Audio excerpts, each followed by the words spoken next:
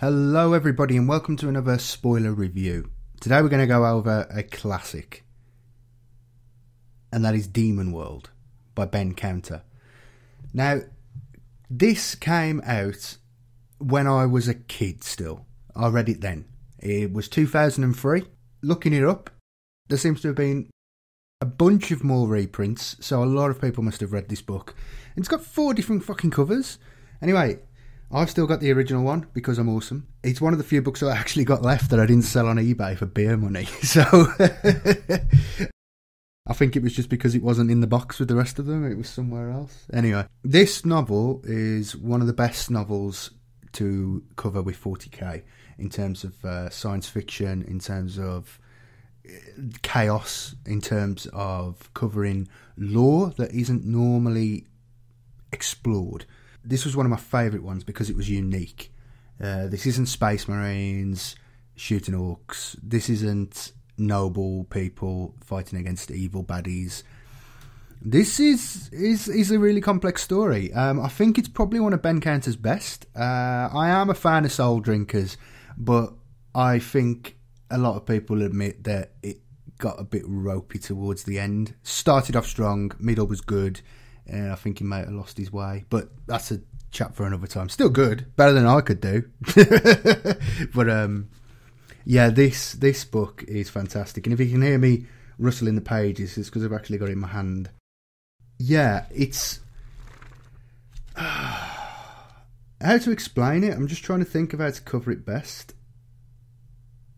Okay, so this was made when Black Library was still a young organisation. It's one of their first in the first few years they did this, and Ben Counter was one of their f- original writers. They probably had like, with, with Dan Abnett and stuff. Yeah, it's it's high quality. It's it's it's fantastic story. It's the, and there's so much stuff that's come from this and then being sort of embraced within the rest of the lore that um, yeah, you definitely need to read it if you haven't. And if you want to understand uh, the Maelstrom, um, that other warp rift that isn't the Eye of Terror, and uh, yeah, there's the, the, nature of chaos, of service with chaos, and just to see some awesomeness, you know, uh, this this is the book for you. Oh, and Ben Counter as well. Ben Counter's one of their best writers. He, he he's a good guy. He he does some good stuff. Again, I think the Soul Drinkers went a bit off the rails towards the end, but I'm still a fan. but this was written in 2003. You know how old that makes me feel. It's disgusting. I am 30 years old now, so that's. I was 16 or 15. Jesus Christ. Oh. Anyway. we will do some spoilers now, but if you are interested in it, I will uh, put a link below. Also, please remember to go over to audible.com using my link and you can get a copy of a Black Library audiobook of your choice for freeze. So, let's do some spoilers for Demon World, explain the story and some of the awesomeness. So, this story has several protagonists, several characters that it revolves around, but all of it is periphery, really, to the one main character who is instigating everything. One Arguleon Veq, which I might be massacring, but we'll call him Veq from now on. Veq is an ancient human being, a champion of chaos from the very dawn of human history, in, or at least expansion into the stars. He says himself that he's one of the main reasons for the existence of the maelstrom, and you got to kind of believe that because of other stuff that that comes up in the book. Basically, during the dark age of technology, he and the age of strife, of course, he appears to have been one of the first to embrace chaos somehow. And this guy's story needs to be told, you know? I mean, if they're going to go back and do the unification wars and stuff, this is a really nice thing to uh, cover as well as a sort of side arc for the lore. I think they should really go back and uh, rediscover this character and put some bones on him because, yeah, he's he's really important, but He does. He's, not. He doesn't pop up in anything else, and I really want him to pop up in something else. Just to mention. Just to mention. That's all I want. when I read this when I was a kid, I thought this was one of the coolest things ever because it, it is. It's it's awesome.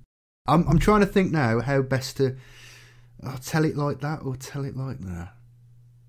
Okay, we'll just tell it a nice, simple way and keep this reasonably short. Because uh, I know a lot of you probably have read this, and if you haven't, I definitely recommend picking it up. It's a nice read. It's it's awesome, to be fair, and you can see a lot of the stuff in this book is then built upon by subsequent chaos stuff. It's influenced the the other stuff that's been done afterwards. Not to say that it's the only influence at all, but you can definitely see how uh, it's it's it's probably been knocking around people's minds because a lot of people read this because it was one of the first novels. Right, so Veq was one of these first champions. He helped build the Eye, uh, the Maelstrom, even wrong, wrong Warprift. Sorry. He ended up on the planet of Torvendus. Now, Torvendus is a maiden world and an Eldar maiden world, and when their civilization collapsed at the birth of Slaanesh, this was one of the maiden worlds which resisted, but a number of the other maiden worlds around the area um, fell to chaos as well. I'm not too sure that that's linked exactly, but there's got to be a link somewhere. Basically, he uh, was then a servant of the chaos, and at the behest of the gods, he went there and conquered this place for them, enslaving the spirit of the planet and turning it to the powers of chaos. It was inhabited by people, by humans, and we'll get to them shortly. And Eldar before then, obviously. It appears at some point he started to lose faith in the Chaos Gods, what they had turned him into, the monster he had become. He's obviously a psyker of some description, he's a sorcerer. And he seems to be disgusted with himself at what he became, what they turned him into, with his own using his own emotions against him, and the things he'd done. When he was a warlord, when he was this great champion, he had an amazing ship called the Slaughter Song, which is a relic from the dark age of technology. It's controlled by AI. It's super advanced. It's the, the, bollocks, basically. And he left it there in the sky. And as the millennia have gone by, the savage inhabitants of that planet have started to. It, it's become part of their cosmological knowledge, uh, as if it's a star, because it's been in orbit so long and it's so large and bright. And even to no one's bothered investigating it, which is it, it's perfectly possible. And he might have had some kind of cloaking thing or whatever. He doesn't discuss it, but it has become a part of the local system. You know, it's just an object that floats around and appears in the sky, and people see it. And when the word bearers show up, they haven't even bothered investigating it. They just think it's like some planetary object. It's not even of interest to them. then again, it could probably defend itself if anyone came and tried to take it. So, yeah, they call it his steed, which I think is a nice touch. It's like some kind of mythical memory that's kept within the tribes, and these people are probably the descendants of the armies that he led. Um, in fact, we know some of them are. Well, we'll get to that shortly. He loses faith with these guys and he goes off wandering the maelstrom to look at it with new eyes, I think he says. And yeah, he starts to turn against chaos and starts to figure out a way to gain revenge. Anyway, eventually finds himself in joining the uh, the word bearers. Now he kind of says it like he becomes an Astartes or takes on the look of an Astartes or something because he has armor, which I believe is power armor. But whatever way he does, he joins with the word bearers and he's with them for a time. Now, whether he's just infiltrating them to learn their knowledge or he's still in with chaos, but he's having doubts, and then when he finally leaves, he's pursued by a kill team of pretty awesome word bearers to be honest. Uh, they've got one sniper guy there and everything. It's it's it's really good. It's a excellent little. Um, there's like three stories going on at once basically, and uh, they intertwine, but they're all working to his plan. Right, since he left Torvendus or Torvendis, however you pronounce it. The world has because the world sits at the center of the maelstrom. It's sort of apparently at the uh, the nexus of all the warp energy and stuff and stuff. And basically, whoever's champion controls Torvendus, the the god that they serve will gain a big boost, basically in power or souls or whatnot, because of how the warp works, how the tides of the warp work, and it's a sort of natural point where everything swirls around it, and yeah, so whoever controls it, their god gets a boost, and it's sort of like they're winning the great game, and it's passed from warlord to warlord, champion to champion, who's managed to conquer the world. At the moment at the moment, it's controlled by a Slaaneshi champion uh, called Lady Charybdis, and um, she has a force of Space Marines, a renegade Space Marine chapter, who have got like three companies with them called the Violators. And I think they've popped up in other bits and bobs since this came out, uh, which is a nice touch. You know, I like to see the books linked to other stuff. So it's all this big world. And yeah, she rules this planet. Now, uh, uh, the peripheries in sort of mountains and so on, there is uh, sort of barbarian tribes. So I think marauders. They're, they're uh, chaos worshipping barbarian tribes. Other than that, the whole world is dominated by her, and she also keeps control of these barbarian tribes by giving gifts to the chiefs and stuff. And one of these tribes is the Emerald Sword, I think. Blatantly going to check that. yeah, so um, and they have a fortress in the mountains, which is sort of like their ancestral home that they were kicked out of by uh, Lady Charybdis when she tried to pacify and break their power in the region. And she hasn't bothered hunting them down to extinction or anything. She just keeps the chief uh, in thrall. She gave him a uh, demonette to play with, basically. Being one of the uh, the descendants of Veq's, original conquering host, they were given a mighty sword, and this sword binds the world planet. In the end, the drive is to have that sword pulled forth, and the energies released in it will destroy Tor Vendus, or set it free so it can destroy itself, which is, of course, what it does at the end. And that's Veq's final fuck you to the Chaos Gods. You know, I'm taking your gift from you and it's the only way he can take some vengeance on them. But there's a lot of stuff that happens before then, so let's cover it off quickly. He flees the word bearers and heads to Tor Vendus, clearly with this in mind, and he's obviously been planning it. He lands on the planet and finds a young tribesman called Golgoth. Basically, he, he appears to him as an ancient sorcerer. He's used a knife to cut off his own flesh, which is a pretty awesome little scene. And um, yeah, he um, he encourages him to take over the tribe, and after many trials and tribulations, he does, and he launches a war against Lady Charybdis to take the city back. But in the end, it appears to be that's just a distraction, I think, to stop her seeing what the rest is going on, or to distract the gods. That this is just your normal flow of events on the planet, and someone's attempted to take it over.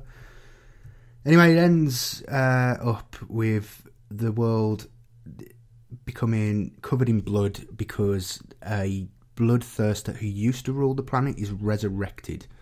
Oh, okay. So basically, this Lady Charybdis is mining the various strata of the planet's crust, which are layer upon layer of dead bodies and destruction from all of the different wars that have been fought there. I mean, you're talking hundreds of wars, you know, hundreds of champions have taken over. There's been untold death and destruction on the world, and she's she's using it to create like because she's like uh, a hedonist, you know, Slaaneshi. She's after the uh, it, it'll it'll get her really high. basically by drudging up these things, you know, the sensations, the power radiating from them, from digging up demon bones and stuff. Um, but um, she the demon uh, Shal Shakar he's resurrected, and it's pretty nice what he does there. He's a, a grey clockwork uh, brass demon of Khorne, and he has a whole demonic army. And uh, yeah, it ends up with like the city getting like flooded with blood and battles going on uh, along the rooftops and stuff with demons and tribesmen charging lines of these violator space marines who uh, are traitor marines but like they're disciplined and stuff and the slaaneshi armies as well. It's it's a really nice mix of stuff. You know, there's people getting killed by spears and also getting shot to pieces by a dreadnought. You know, it's it's good stuff. It's it's a good old romp. There is a confrontation between Veq and the word bearers kill team who have been sent after him, and basically kills them all one by one by using some of the relic weapons and armour that he's left on Slaughter Song, and they've just been sat there. And the Slaughter Song itself helping him because it, he's its master. Um, I think it says he found the ship, so he didn't build it or anything. He, he found this relic and bound it to him. But yeah, basically, it ends with through his planning and so on, the young Golgoth going off and drawing the sword and bringing about the destruction of the planet. And I'll read a small segment. And the, so the planet's known as the last because it's the last of the Maiden Worlds within the Maelstrom, I believe. Arguleon Veq looked down on the city directly beneath him as the last maw closed. Towers splintered beneath the crushing teeth. Demons died as the city fell down. A mighty roar rising up in a cloud of debris. Veq could see Shakaar clinging to the top of Charybdia Keep, raging insanely and showering blood, lashing out with steel claws at the fangs which bore down on him. The whole city was gone now, crushed beneath a canopy of mountainous teeth, with only Shakaar visible. His huge body was transfixed by a dozen points that sunk into his flesh and came out the other side, holding him fast. Still he bellowed, brass skull shaking with anger as the maw sank into the ground. And it goes on. The last didn't speak as such, but it had been given intelligence by the Eldar, who at their height had mastered psychic engineering, and it could talk directly with a man's soul. It was in agony. It had been that way since the day Veq had defeated it a hundred lifetimes ago. It had been violated as the powers of chaos took the planet as a symbol of their power, infected with its war dead and soaked in corrupted blood. Its stones had been ground down and incorporated into terrible temples and bastions that rang with the screams of the tormented, into the very city it had just reabsorbed into its body. It had been suffering most terribly, and it had been driven insane. Torvendis, last of the Eldar Maiden Worlds, wanted revenge just as much as Arguleon Vecht. Revenge against chaos, which was such a vast and all consuming power that only the grandest gestures could hurt the gods. Only the loss of a symbol like Torvendis would be enough for them to notice. Veq and the last had fought the most terrible battle of the Maelstrom's long history, but now, when they had both had so much time to contemplate what had happened, they understood. The last did not hate Veq, though Veq had imprisoned it and introduced it to its torment. It hated chaos. Veq, for his part, knew the last was still a maiden world imbued by the Eldar who had lived there with a consciousness of its own, so it could be as beautiful and productive as possible. It still valued beauty and justice, and understood the value of sacrifice in the face of evil. It was mad, but those beliefs had not left it. The only way it could hurt chaos was to be destroyed. Arguleon Veq, a different man from the one who had defeated it, had let it free to accomplish this. For this, at least, it found space in its rage to be grateful. It also understood that Arguleon Vecht did not expect or particularly want to survive, so it was with little ceremony that, with a final roar of rage from its very core, Torvendis tore itself apart. Now, that sums up the end, and that is a real spoiler. It's a great book. Uh, the character of Veq is really I want more. I still want more. I want more as soon as I finish reading this, and I can't believe they haven't done anything with the character. He needs to be brought back. Something needs to be done with him. But um, whether he's alive in the current universe, I think probably. You know, the gods aren't going to let him die. They need to punish him for what he's done. But there we go. It's it's a great it's a great section, and at, the time as well, the Maelstrom had pretty much bugger all written about it. It was just there so this was a, a, a lovely, lovely uh, enhancement and enrichment of the lore. But yeah, fantastic book, fantastic read, and I highly recommend it. Okay, with that, I will leave you to it. Thanks very much for watching. I have been the Border Prince, and I will see you next time. Cheers. Thank you.